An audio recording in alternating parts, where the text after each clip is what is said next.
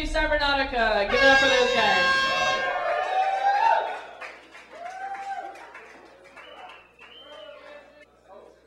Get the Mario Kart?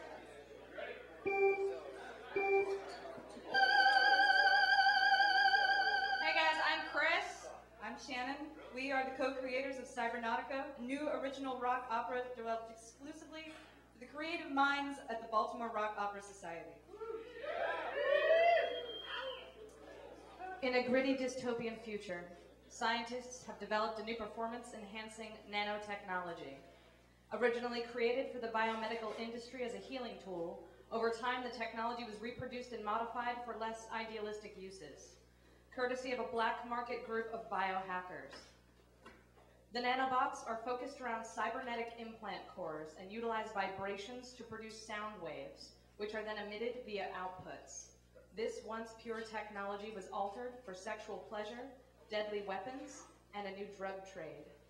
Now, a deadly corruption has begun to manifest in the bodies of users, a nanobot cancer. Researchers on Medical Station Alpha, a space station in orbit around the planet Ogam 7, are hard at work to find a cure.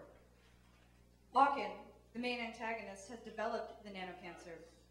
He and his beastly henchmen, the Hexen, will stop at nothing to save him. They raid the space station seeking the cure, which they will then, of course, also market to the rest of the planet for a profit. Anyone in their path is brutally murdered, including head scientist in charge of the research, Surma. She and her husband, Vale, a former bounty hunter, live on the space station with their young daughter, Isla. Isla escapes the massacre with Cell. That's Cell. An androgynous cybernetic human built by Surma to house the cure to the nanocancer. Vale escapes as well and disappears into obscurity. Fifteen years later, on Ogam 7, Isla and Cell are hunted by Aachen and his Hexen. As the disease ravages his body, he becomes more desperate and less human. As Aachen becomes less human, Isla becomes more badass, donning her father's armor and ultimately battling Aachen to the death. Vale, who has been hiding in the shadows all this time, steps in to aid her as Aachen explodes into a 20-foot cybernetic horror. Two identical armored figures, Isla and Vale, fight to bring the beast down together. In a final act of desperate rage, Aachen enters a self-destruct sequence, his massing in, massive infected body erupting in, erupting in a gruesome explosion. Vale, now indistinguishable from Isla, sacrifices himself into the explosion to save Isla. There's a moment of confusion as the audience tries to determine which of our heroes has fallen until Isla triumphantly, but devastated, rips off her helmet, revealing her identity.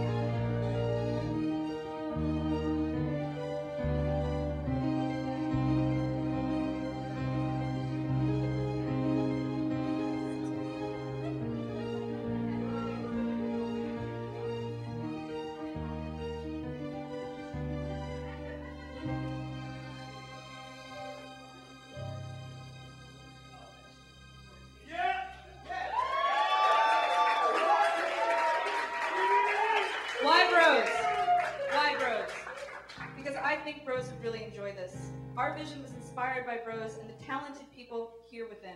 We want everyone to have an opportunity to do what they do best, challenge themselves, learn something new, and move Bros forward in our 7,000 year mission to produce the most epic, face melting, taint grinding rock operas imaginable. Here are some highlights. Monsters. The Hexen are walk-around puppet monsters on half stilts.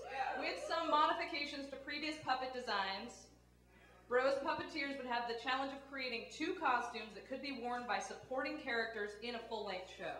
Think Cyberpunk, Bebop, and Rocksteady meets Jim Henson's Creature Shop. Alright, so Aachen is actually going to be super complex. Multiple costume layers will build up through the show as he slowly turns into an, an infected monster. Phil built us some prototypes. By the finale, the actor's costume will be replaced by a massive floor-to-ceiling puppet that fills half the stage. This would be the biggest puppeteering feat ever accomplished by Bros, or really anyone, let's be honest. Dude, people are gonna go fucking ape shit. We want our characters to be wearing. Yeah. We want our characters to be wearing sound suits, which, through the use of LEDs or other yet to be explored technologies, will show a visual representation of the sounds emitted by the nanobots. Also, sweet space armor for everyone. Uh, movement team, Effervescent Collective in the house, listen up. We want to utilize the movement team to their maximum potential, and honestly, fucking ceiling high on that one. Yeah, Um, with at least three big fight scenes and integrated choreography throughout the show. Midpoint Showstopper, fun shit. The main stage will be transformed into a seedy bar scene featuring a space-age burlesque performance, which then brings the band front and center. We imagine giving the Bros the opportunity to go wild with new creature designs, cameos of Bros celebrities, and generally blowing the audience's mind with alien chore- choreography. That lighting, fog, costumes, and music. All right, what is the music? We are looking at an industrial post-rock soundtrack with a super heavy, gritty synth undertone. The soundtrack will be informed by a droning sound wave created by the nanobot implants worn by the characters. As the implants become infected, the tone of the droning becomes louder and more haunting. We want the sound of the instruments to be influenced by what is being communicated on stage, creating thematic soundscapes. Oh, and don't worry, JD, there will be plenty of room for epic guitar riffs. Regarding this set right here, which I suck at drawing, I'm sorry. Um, great. we want to build a moving set, you can't really see all of it here, of double-sided panels which can be turned to change the space and used to hide and expose different areas of the stage. Uh, we would add a small platform between the main stage and the rock deck with ladders going between the different levels. The movement team will move between the levels to create a sense of swarming, adding depth to invasions and battle scenes. We will also incorporate live video into the performance, which will be projected on stage. This additional dimension will free up the main stage for crazy intense set changes. Oh, and also this would look fucking epic under Chauvet lights. I mean, what wouldn't? But seriously. Challenges. Challenges. This is going to be a massive under. Thank you, Ferdy. This is going to be a massive undertaking. The puppets are going to be the most complex Bros has ever created. We are asking a lot of our performers who will be acting, singing, fighting, dancing, and doing puppetry. Incorporating video is going to be another challenge. This is definitely going to be an all hands on deck show, and we will present at least as many challenges as Valhalla did, possibly more. Thank you. All right, guys, give it up for Shannon and Kris. Cybernautica. All right, we got another five minutes of Q and A. Anybody besides the drinking who has a question? No one can get a sip of anything because everything is free here. My- No space flask for anybody unless you already got one. Hey guys, um, you guys envisioning like a super end boss fight with the floor to ceiling puppet? And who would that be between? And I'm just kind of having a hard time following who the protagonists are that form into one big antagonist at the end, or Aachen, who was highlighted, would be that character who kind of explodes, kind of a uh, Tetsuo moment, where he just kind of goes crazy. Um, the people fighting him would be Isla and Vale. They will both be wearing the same armor. The helmet was modeled and prototype. Um, they will both be wearing the same armor and it will be confusing. You won't know who is who.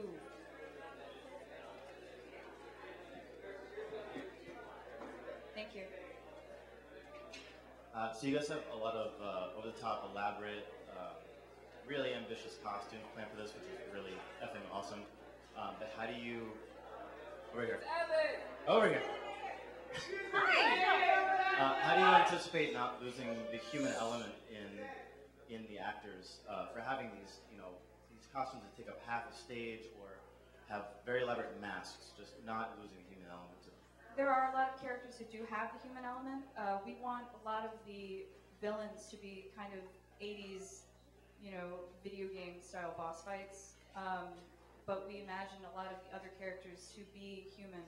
Um, we are all wearing costumes that are based off of certain characters. Uh, top is Surma, bottom is kind of Aachen. Also, we do want to bring in um, mask experts to teach our actors how to act with a helmet on. Because it's not as easy as like, look, I look epic in a helmet. It's like, look, I know how to move my head, I know how to move my body and act with my whole body. Do you, do you see it working without a mask like actually covers the face, but more like outlines the face? John, where are you? Come back up here with your helmet. What is what is the takeaway message for the audience coming out of Cybernautica? The takeaway is a strong female character making the ultimate decision. We didn't want to go into the entire, entire, entire story. There you go. Move your head. Um, but basically, in the end, Isla is faced with the decision that she can live a life of comfort with her friends and do all the things that she's never had because she's been a refugee, or she can kind of make the ultimate sacrifice and not turn her back, but leave these people in order to protect them and actually take the information that her mother gave her and cure the nanobot cancer and become uh, a positive force in the world. Anybody else have a question? Chuck? In the back.